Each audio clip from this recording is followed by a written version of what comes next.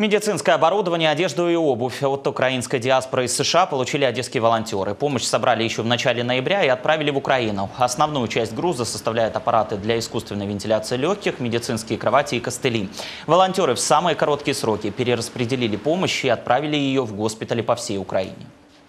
Это будет Львов, Сколе, э, Харьков, Днепропетровск, то есть и там тоже по несколько. И э, тоже э, около 10 вентиляционных аппаратов попадет и в 411 госпиталь, и на э, госпиталь на э, пятый фонтан на пограничников.